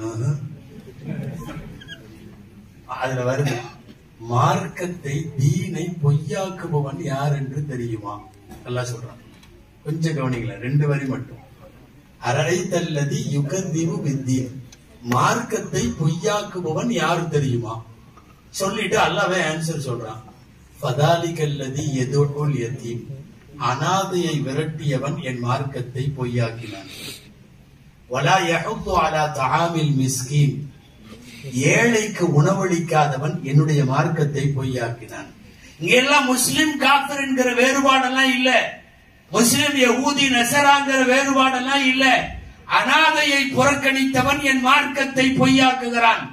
யார் ஏழைக்கு உணவளிக்கவில்லையோ அவன் என் மார்க்கத்தை பொய்யாக்குகிறான். உணவளிக்கிறதுல போய் நீ முஸ்லிமா நீ அவனா நீ இவனான்ட்டு நம்ம ஐடென்டி கார்டை தேடிட்டு இருந்தோம்னா? உங்களுக்கு எல்லாம் தெரியும் கேள்விப்பட்டிருப்பீங்க இருந்தாலும் நினைப்படுத்துறதுக்காக சொல்றேன். ரெண்டாயிரத்தி பதினஞ்சு சென்னையில மிக மோசமான வெள்ளப்பிரளயம் ஏற்பட்ட போது அடுத்த சமயத்தை சார்ந்த நிறைய பேர்த்துக்கு இஸ்லாமிய இளைஞர்கள் போய் உதவி செஞ்சதுனால ஏகப்பட்ட நல்ல பேர்கள் அவங்களுக்கு அல்ல இஸ்லாத்துக்கு கிடைத்தது. இஸ்லாத்துக்கு கிடைச்சது. ஒரு தம்பி அந்த அந்த பையனுக்கு யூனுஸ் பேரு அந்த பையன் போய் நிறை மாத கர்ப்பிணி அபார்ட்மெண்ட்ல மேல சிக்கிருச்சு தண்ணியில கீழே பூரா தண்ணி எங்கேயும் இறங்க முடியாது. இந்த பையன் அங்க ஏறி இங்க ஏறி செவத்துல ஏறி கம்பத்துல ஏறி கர்ப்பஸ்திரியை தூக்கி தோல்ல போட்டு ஆஸ்பத்திரி கொண்டு போய் இதுக்கு அது வந்து முஸ்லீம் அல்ல. அது ஒரு இந்து சகோதரி. நிறை மாத கர்ப்பிணி. தூக்கி தோல்ல போட்டு கொண்டு போய் ஆஹ், மகப்பேறு மருத்துவமனையில சேர்த்து டெலிவரி ஆயிடுச்சு காலையில. கண்டிப்பா அந்த பையன் இல்லைன்னா அது ரெண்டு உயிரும் போயிருக்கும் மட்டுமல்ல தண்ணியில இதா இருக்கும் அப்படி ஒரு சூழ்நிலையில கொண்டு வந்து காலையில குழந்தை பிறந்த உடனே அந்த இந்து தாய்க்கு குழந்தை பெண் குழந்தை பிறகு அவங்க நர்ஸுகள்லாம் வந்து வீட்டுல உள்ளவங்க எல்லாம் சொன்னதுக்கு அப்புறம் கடைசியில இந்த குழந்தைக்கு யூனுஸ்னு பேர் வையுங்குது. அவங்களே சொல்லியிருக்காங்க ஏமா பாய்களே வந்து யூனுஸுங்கிற பேரை வந்து பையன் பிறந்தாதான் வைப்பாங்க. ஆண் குழந்தை பிறந்ததான் உனக்கு பிறந்திருக்கிறது பெண் குழந்தை. நீ வேணா இன்னும் நெக்ஸ்ட் டைம் வந்து உனக்கு ஒரு ஆண் குழந்தை பிறக்கிறப்ப யூனுஸ்னு பேர் வைப்பியாமா? அந்த மாதிரி சொல்லுது அது வந்து பெண் குழந்தையா ஆண் குழந்தையா? யாருக்கு வைப்பாங்கன்னு தெரியாது. என்னை பொறுத்த வரையும் நான் வந்து நேற்று இறைவு என்னுடைய சூழ்நிலையில என்னை வந்து காப்பாற்றியது தெய்வம். அந்த தெய்வத்தை நான் என் குழந்தைக்கு பேரை வைக்கிறேன் அப்படின்னு சொல்லி அந்த அம்மா யூனுஸ்க்கு பேர் வைக்கிறது இப்ப என்ன தெரியுமா? இந்த யூனுஸ் என்கிற பெண் குழந்தை இன்னைக்கு ஸ்கூலுக்கு போயிட்டு இருக்கு. ஸ்கூல் அட்டண்டன்ஸ்ல யூனுஸ்னு எழுதுறாங்க பெண் குழந்தை. நான் எதுக்கு சொல்றேன்னு தெரியுமா? சமயங்களை கடந்து மதங்களை தாண்டி நாம் சில நேரம் செய்யக்கூடிய உதவிகள் தான் மார்க்கத்திற்கு மிகப்பெரிய மேம்பாட்டை நீ வந்து வரிசையா என்கிட்ட யாரெல்லாம் முஸ்லீம் பேர் இருக்கிறியா அவனெல்லாம் வந்து ஒவ்வொரு வேண்டி வாங்கிக்கோ. அவனெல்லாம் ஒவ்வொரு சேலை வாங்கிக்கொண்டே உட்கார்ந்து இருந்தா காலம் முழுக்க வந்து மார்க்கத்தை கொண்டு போய் ஒரு பல்லின சமூகத்தில் அடையாளப்படுத்த வேண்டும் என்றால் முக்கியமாக இந்த மாதிரி விஷயங்கள்ல நாம் முன்னெடுக்க வேண்டிய கட்டாயத்தில் இருக்கிறோம். அதுவும் ஒரு நல்லிணக்க சூழலை யாரெல்லாம் விரும்புகிறார்களோ அவர்களெல்லாம் மத அடையாளத்தை வைத்துக் கொண்டு மாத்திரம் உதவிகள் செய்யக்கூடாது. அது ரொம்ப முக்கியமான நேரம். திரும்ப திரும்ப ஒரு உகது போர்க்களத்திலே பல் உடைக்கப்பட்டு ரத்தம் வருகிறது. தாய்களை அடிக்கப்பட்டு கால்ல ரத்தம் வருது கொஞ்சமாவது அந்த டென்ஷன் ஆகி சக மனிதனு கூட ஒரு வார்த்தை அல்லாஹும் மஹதி பௌமி ஃபைன்னகும் லா யாலமூன். இந்த மக்கள் என்னை தெரியாமல் செய்கிறார்கள். யா அல்லாஹ் இவர்களை மன்னித்து விடு. அதுதான் ரசூலுல்லா கடைசி நேரத்தில் ஆயிஷா அம்மா ஒரு தடவை கேட்டார்கள். செல்லல்லா அலைஹி செல்லப்படம் யார சொல்லல்லா ஹல் மர்ரபிக ஐயா முன் அஷத்த மின் உஹுத்? உகதுல தானே உங்களை மோசமா அடிச்சாங்க பல்லெல்லாம் உடைச்சாங்க. வழியும் ரத்தத்தோடு நீங்கள் நின்று கொண்டிருந்தீர்கள். உகது போர்க்களத்தை விடவும் கஷ்டமான நாட்கள் உங்கள் வாழ்க்கையில எப்போதாவது உண்டான்னு கேட்டாங்க. தில்கல் ஆஷரா அபிசல்லாசன் சொல்றாங்க ஆமா உண்டு. தாயிஃப்ல நான் இருந்த பத்து நாள் பத்து நாளும் என்னை கல்லாலே அடித்தார்கள். நீங்க நினைக்கிற மாதிரி சும்மா லேசா கடந்து போயிடுறீங்கல்ல நாகூர் அனிபா பாட்டுல தாயிப் நகரத்து வீதியில தாகா நபி நடக்க. பத்து நாள் அடித்தார்கள். பத்தாவது நாள் அடிக்கப்பட்ட அந்த பெரிய பெரிய இரும்பு கற்களில் காரை கற்களில் காலுடைய கணுக்கால் உடைஞ்சது. கணுக்கால் தெரியுமல துருத்திட்டு இருக்கிற எலும்பு. அது உடைஞ்சு அதுல இருந்து ரத்த கசிவு. அதற்கு மேல் காலை ஊண்ட முடியவில்லை. ஒரு காலை நொண்டியாக தூக்கி வைத்துக் கொண்டு பக்கத்தில் இருக்கிற செய்துவன் ஆதிசாரதி அல்லாஹ் அன்புடைய தோல்ல கைய போட்டுக்கிட்டு வழியும் ரத்தத்தோடு வந்தார்களே.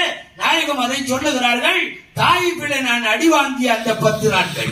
அப்ப தாய் பிள்ளை இவ்வளவு கோரமாக தாக்கப்பட்ட போது உகது போர்க்களத்திலே பட்கள் எல்லாம் உடைக்கப்பட்ட போது எந்த நேரத்திலையும் நீங்களாம் உருப்பிடுவீங்களாடா உங்களை ஒண்ணு ஒண்ணு உண்டு இல்லைன்னு பாத்துக்கிறேன்டா எந்த வார்த்தையும் வரலையே.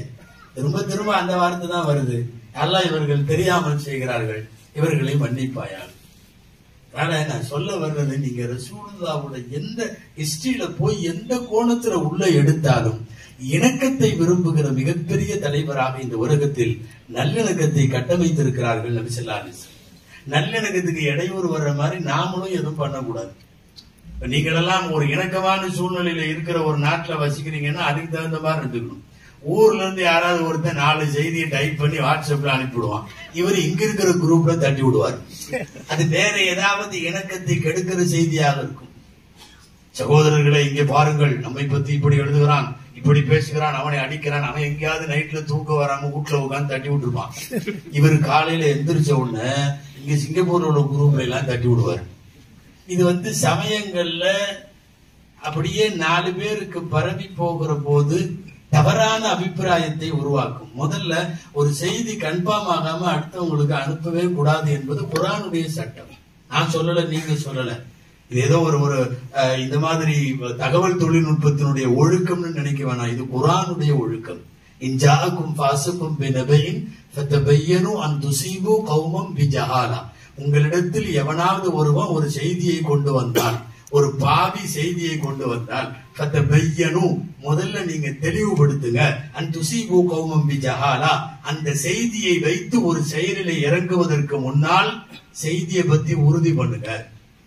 இல்லைன்னா என்ன ஆகும்? துஸ்பிகோ அலாமா ஃபேக்டும் நாதிமின் கடைசியில கை சேதப்பட்டு போயிருவீங்க.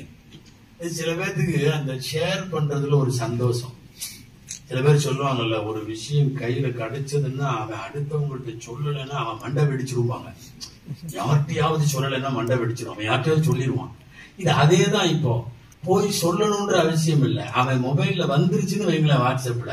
பத்து பேத்துக்காவது அனுப்பலைன்னா அவன் மண்டை வெடிச்சிடும் சில பேர் வந்த உடனே அப்படியே தட்டிடுவான் ஆனா கம்பெனிக்காரன் வாட்ஸ்அப்புக்காரனே பார்த்துட்டு இப்போ எல்லாம் இப்படி தட்டுறீங்களேடான்ட்டு அஞ்சு பேத்துக்கு தான் அனுப்ப முடியும்னு வச்சு.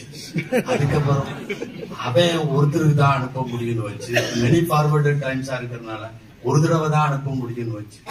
டக்குன்னு அனுப்பிச்சிடுறது. யாரு என்ன கிடந்தாரு அவன் என்ன பூரா பொய்யா இருக்கும். என்னமாவது ஒரு பொய். அன்பிற்குரியவர்களே இன்னைக்கு நைட்டு நீங்கள் மொபைலை பயன்படுத்தாதீர்கள். கதிர்வீச்சு வருகிறது. ஒரு மண்ணாங்கட்டியே வராது.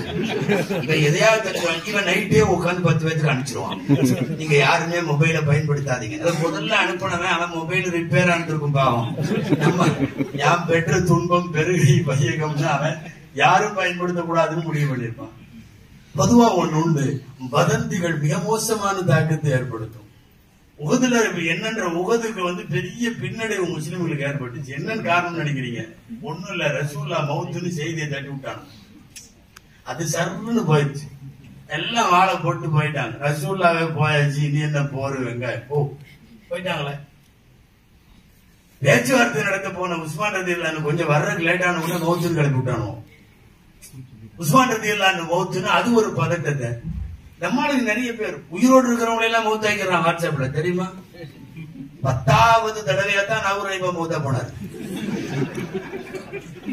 ஆல்ரெடி எட்டு ஒன்பது தடவை மூத்தா போனார். ஒவ்வொரு தடவையும் மூத்தா போறது போன் அஜருக்கு உங்களுக்குமா அனுப்புனாளுங்க அப்படிங்கிறார் அவரு. ஆமாண்ணே வந்துச்சு. நல்லா தான் இருக்கேன் செத்து துவாச்சிங்க நிறைய தடவைக்கு பின்னாடி தான் மூத்தா போனார். இவன் யாரெல்லாம் பிரபலமா இருக்காரோ அவரெல்லாம் மூத்தாக்கிறோம் ஒண்ணு தெரியுமா? இடையில இடையில இவன் அவனுக்கு ஆசையோ என்னமோ தெரியல. அந்த சுதேசிமா மூத்தாக்கிடுவான்.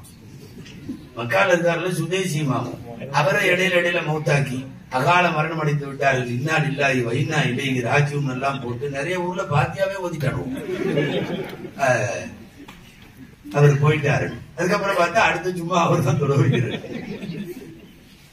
ஒரு செய்தி அதிலும் குறிப்பாக பதற்றத்தை உருவாக்குகிற செய்தியோ இணக்கத்திற்கு ஊர் விளைக்கிற செய்தியோ மதத்திற்கிடையிலே மோதலை ஏற்படுத்துவது போன்று உள்ள செய்திகளோ அறவே தவிர்க்க வேண்டும். அது எந்த சமயமா இருந்தாலும் தவிர்க்க வேண்டும். முதல்ல இதெல்லாம் நல்லதே அல்ல. இஷாத்துல் அஹ்பார் என்று சொல்லக்கூடிய இன்னைக்கு ஒரு பெரிய குற்றம் இதுவெல்லாம். செய்திகளை பொறுத்தவரை ஆராயாமல் அதை அடுத்தவர்களுக்கு பரப்பி பரப்பு. சில பேர் நம்ம பரப் நம்ம ஷேர் ஐடியாவிலே இருக்க மாட்டோம். அவன் அதனால கீழே ஒரு வரி ஆடு பண்ணுவான். என்ன தெரியுமா? உண்மை முஸ்லீமாக இருந்தால் பத்து பேருக்கு அனுப்புவோம். இப்ப அனுப்பலன்னா நம்ம ஈமானே டவுட் ஆயிருப்போம் களிமாவே கஷ்டம். சில பேர் அப்படி அனுப்புவான்.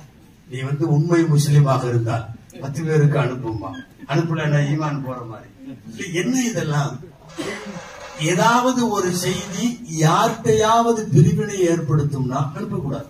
ஒரு குடும்பமா இருக்கட்டும் ஒரு நண்பர்களா இருக்கட்டும் அப்படிங்கிறப்போ ஒரு தேசிய அளவில் ஒரு நாட்டு அளவில் ஒரு இணக்கத்திற்கு ஊறு விளைவிக்கிற மாதிரி குறிப்பாக மதம் சார்ந்த பதட்ட நிலைக்குரிய செய்திகளை தொடர்ந்து நீங்கள் பகிர்ந்து கொண்டே இருக்கிற போது எங்காவது ஒரு இடத்துல அது வந்து மார்க்கத்திற்கு கெட்ட பெயரை நிச்சயமா ஏற்படும். சில பேர் எந்த செய்தி அனுப்புறதுனால யோசிக்கணும்ல இப்போ எல்லாம் ஒரு ஒரு ஒரு ஒரு மொபைல்ல வர்ற செய்தியை வீடே பாக்குது அவர் மட்டும் பாக்குறது இல்லை மனைவி பார்க்குது மக்கள் பாக்குறாங்க பெண் பிள்ளைகள் பருவ பிள்ளைகள் ஸ்கூல் லெவல்ல உள்ள பிள்ளைகள் எல்லாமே பாக்குறாங்க நீ கண்டதையும் அனுப்பிச்சிட கூடாது அல்லவா? அந்த அந்த ஷேர் பட்டன்ல கை வைக்க வேண்டியதே இல்லையே. ஏதேதோ ஏதேதோ ஏதாவது யாருக்காவது கொடுத்து கொண்டே இருக்க வேண்டும் என்று. நான் சொல்ல வருவது நல்லிணக்கத்திற்கு ஊர் விளைவிக்கிற மாதிரி எந்த செய்திகளையும் ஒருபோதும் அனுப்பக்கூடாது. பேசிட்டு வந்த சப்ஜெக்ட் என்னன்னா அடுத்த சமயத்தவர்களை காயப்படுத்துவதோ அதோ அல்லது உதவிகளில் சுருக்கிக் கொள்ளுவதோ மனித குலத்திற்கு உதவி செய்தல் என்பது நபிகள் நாயகம் ஸல்லல்லாஹு அலைஹி மாண்பு. நல்லா தெரிஞ்சுங்க குரான்ல ரஹ்மத்துல்லில் ஆலமின்னு தான் வருது. ரஹ்மத்துல்லில் முஸ்லிமின்னு வரல. நபிகள் நாயகம் அகில உலகிற்கெல்லாம் அருட்கொடை. வெறும் முஸ்லிம்களுக்கு அருட்கொடை அல்ல. நீ சதக்காவோ மத்ததோ உதவிகளோ ஒரு குறிப்பிட்ட வட்டத்திற்குள்ள மாத்திரம் தயவு செய்து சுருக்காதீர்கள். இஸ்லாத்துக்கு நல்ல பேரை கொண்டு வரணும்னா நீ நாலு மதத்தவர்களுக்கு உதவி செய். அல்லது நாலு மதத்தவர்களிடத்தில் இஸ்லாமை பற்றியும் முஸ்லிமை பற்றியும் நல்ல அபிமானத்தை ஏற்படுத்து. மனுஷ குணமே அதுதானே. உதவலைன்னா அப்புறம் வந்து எந்திரத்துக்கு நமக்கு என்ன வித்தியாசம்? பிரிட்டனை சேர்ந்த ஒரு நாவலாசிரியர் இருக்கிற ஒரு நாவல் ஒண்ணு. இந்த ரோபோட்டுகளை பத்தி எழுதியிருக்கிறார். அடுத்த கட்டத்துல உலகம் அஹ், எந்திரங்களை நம்பி போகும் அப்படின்னு சொல்லி அந்த ரோபோட்டுகளை பத்தி எழுதுறதுல. அதுல நாவல்ல அவரு ஒரு சீன் வைக்கிறார் நாவல்ல. அதாவது மறுமையில இறைவன் விசாரணை பண்ணுவானாம். அஜர்த்து சொல்றதுனால நடக்க போகுதுன்னு நினைச்சுக்கோனாம் அஹ், அப்போ ரோபோட் சொல்லுமா இறைவன்ட்ட. ம- மனுஷனே சொல்லுவானா நான் கண்டுபிடிச்ச ரோபோட் வந்து அபாரமா வேலை செய்து இறைவனே நீ படைச்ச மனுஷன் வந்து செய்யறது இல்ல அவனுக்கு சோர்வு வருது முதுமை வருது மூப்பு வருது முட்டிங்கால் வரி வருது சுகர் வருது என்னமோ வருது. நம்ம ரோபோட்டுக்கு அதெல்லாம் வராது. சும்மா சுவிட்சை போட்டா வெறு வெறு வெறுன்னு செய்யும். கொஞ்ச நேரம் ஓய்வெல்லாம் கொடுக்க வேண்டியதில்லை. அதுக்கு மாத்திரை மருந்தெல்லாம் ஒன்றும் தேவையில்லை அப்படின்னு. அப்ப இறைவன் சொல்லுவானா? அவர் ரோபோட்டை பத்தி எழுதிருக்காக எழுதியிருக்காரு. இறைவன் சொல்லுவானா? கூப்பிட்டு எங்க? ஒரு ரோபோட்டை கொண்டு வாமானா கொண்டு வந்து. ரோபோட்டா மனிதனா என்று பார்ப்பதற்கு அங்கே ஒரு காட்சியை அவர் நாவல்கார் வைக்கிறார். என்னன்னா மூணு மனிதர்களை விடுவார். வேகமா போறது. அதுங்க வேகமா போகணும். ரோபோட் மூணு ரோபோட்டை விடுவாங்க. அதுவும் வேகமா போகணும். கொண்டப்பா உங்க ரோபோட்டை வந்தாச்சு. போ சொல்லு. மூணு ரோபோட்டு சுவிட்ச தட்டின உடனே விறு விறு விறு விறு விறுன்னு இலக்கு இங்கிருந்து அது வரைக்கும் போறது. விறு விறு போயிருக்கு. ஏதோ ஒண்ணு டப்புன்னு சுருண்டு விழுந்துருச்சு தொழில்நுட்ப கோளாறோ டெக்னிக் ஏதோ பிரச்சனையோ என்னமோ தெரியல. ஏதோ டெக்னிக்கல் இஷ்யூ ஒண்ணு விழுந்துருச்சு மிச்சம் ரெண்டும் நீட்டா கரெக்டா போய் தொட்டுருச்சு. அடுத்து மூணு பேர் மனிதர்களை அங்க நிற்க வைத்து இறைவன் அதே போல அனுப்புவான். போய்கிட்டே இருப்பாங்க. மூணு பேர் வேகமா போவாங்க. ஒருத்தன் சுருண்டு விழுந்துருவான் மத்த ரெண்டு பேரும் நின்றுவான் இவனுக்கு என்ன ஆகுது அப்படின்னு பார்த்து அவனுக்கு தண்ணி கொடுத்து அவனுக்கு தண்ணி தெளிச்சு அவனுக்கு என்னாச்சு ஏதாச்சுன்னு சொல்லி இறைவன் சொல்லுவானா நீ படைச்ச எந்திரத்துக்கும் நான் படைச்ச மனுஷனுக்கும் இதான் வித்தியாசம். சக மனுஷன் கீழே விழுந்துட்டான்னா இவன் நின்று அவங்கள பரிவோடு கவனிப்பான் இது மனிதாபிமானம். நீ படைச்ச எந்திரத்திட்ட அதெல்லாம் தெரியாது. கூட யாராவது விழுந்துட்டா அது வாட்டில் போயிட்டே இருக்கும். ஒருவன் எந்திரமாக இருக்கிறானா மனிதாபிமானத்தோடு மனிதநேயத்தோடு இருக்கிறானா அப்படின்னு அவனு மிஷின் இல்லையே. யாருக்கு உதவி செய்வதாக இருந்தாலும் கூனு இபாதல்லாகி இஹ்வானா. நபிசல்லாஹு சொன்னது அல்லாஹுவினுடைய அடியார்களாக உலகத்தில் இருக்கக்கூடிய எல்லாரையும் சகோதரத்துவமாக பாவிக்க வேண்டும் என்கிறார்கள் நபிகள் நாயகம் ஸல்லல்லாஹு செல்ல ஒரு சமூக நல்லிணக்க தலைவராக ரசூலுல்லாஹி சல்லல்லாஹு அலைஹி வசல்லம் அவர்களை நான் வந்து அவங்க எத்தனை சமாதானம் பண்ணாங்க என்னங்கிறது எல்லாம் நான் சொல்லல. அதுக்குள்ளே எல்லாம் போனா வரலாறு நீண்டுவிடும். அன்பிற்குரியவர்களை இணக்க தலைவராக பெருமானார் ஸல்லல்லாஹு அலைஹி வசல்லம் வாழ்வின் எல்லா கட்டங்களிலும் பிறரோடு நாம் வாழுகிற வாழ்வை எந்த வகையிலையும் உரசல் இல்லாத பிணக்கு இல்லாத வாழ்வாக கட்டமைப்பதற்கு என்னென்ன வழி தேவையோ அதையெல்லாம் செய்திருக்கிறார். ஒண்ணுக்குமே அந்தஸ்துகள் இல்லாத சஹாபாக்கள் எல்லாம் உயர்ந்த நிலைக்கு வந்ததற்கு பின்னாலும் அத்தனை சூழ்நிலைகளிலேயும் நபிகள் நாயகம் செல்லல்லாஹு அலிக வசல்லம் முன்வைத்த இணக்கமும் அன்பான சூழலும் மனித நேயமும் இதுதான் தடைத்திருக்கிறது. நான் மிக நீண்ட நேரம் இந்த தலைப்புகளை எடுத்துக்கொள்ள முடியாது. இன்ஷா அல்லாஹ் திங்கட்கிழமை அன்று மாலை இதே நேரத்தில் இதே அரங்கில் இன்ஷா குடும்பம் மனைவி மக்கள் நம்முடைய பாரம்பரியம் உலகம் என்கிற மார்க்கத்தினுடைய வழிதா வழிகாட்டுதலை குறித்து ரசூலுல்லா அந்த விஷயத்தில் நமக்கு என்ன சொல்லி இருக்கிறார்கள் என்பதை குறித்து ஒரு முக்கியமான தலைப்பில் இன்ஷா அல்லாஹ் கடைசியில நான் உரையாற்றி இருக்கிறேன். திங்கட்கிழமை. அந்த திங்கட்கிழமை நிகழ்ச்சியில் இன்றைக்கு வந்தவர்கள் எல்லோரும் வாருங்கள். மற்றவர்களையும் இன்ஷா அல்லாஹ் அழைத்து வாருங்கள் என்று சொல்லிக்கொண்டு இந்த நிகழ்ச்சியின் இறுதியிலே எனக்கு முன்னாலே பேசியவர்கள் எல்லாம் சொன்னது போல நூறு சஹாபிய பெருமக்களுடைய வரலாறுகளை வாழ்க்கை வரலாற்றை எழுதியிருக்கிற ஒரு புத்தகம் தான் இப்போது இங்க வெளியிடுகிறார்கள். இஸ்லாத்தின் வேர்களும் விடுதுகளும். புஸ்தகம் வந்து ஆயிரத்தி அறுபத்தி நாலு பக்கங்களை உடையது. நூறு சஹாபி வாழ்க்கையில கடைசியா மௌத்தா போன சஹாபி யாரோ அவருடைய வரலாறு வரை இருக்கு ரொம்ப ஆச்சரியமான வரலாறு. அவர் சொல்றாரு நான் கடைவீதிக்கு போகிறேன் பள்ளிவாசலுக்கு போகிறேன் எல்லா இடத்துக்கும் போறேன். நான் ரசூலுல்லாவை பார்த்தேன்னு சொல்றதுக்கு யாருமே இல்லை என்ன தவிர. அந்த கடைசி சஹாபி வரைக்கும் யாரெல்லாம் வந்து இருந்தார்களோ அந்த வரலாறுகளை பேசினேன். இந்த புத்தகம் ரொம்ப மிகப்பெரிய வரவேற்பை பெற்றது. இது புதுசா வெளியிடல இப்பவே சொல்லிடுறேன். வெளியிட்ட வேகத்துல ஒரு ஒரு ஆயிரம் புத்தகங்கள் சில நாட்களிலேயே தீர்ந்து போய்விட்டது. அடுத்து ஒரு ஆயிரம் போட்டு அதுவும் மின்னல் வேகத்திலே தீர்ந்து போய்விட்டது. கடைசியாக தமிழக முதல்வருக்கு இந்த புத்தகம் அன்பளிப்பாக வழங்கியதற்கு பின்னாலே மீண்டும் பல பேர் கேட்டு அது மூவாயிரம் பிரதியாக அதுவும் இப்போது தீர்ந்து விட்டது. கொரோனாவுடைய காலத்தில் உலகத்தில் எங்கேயுமே பயான் நடக்கல. உலகம் பூரா பயான் நடக்கல. எந்த பள்ளிவாசல்லையும் பயான் இல்லை.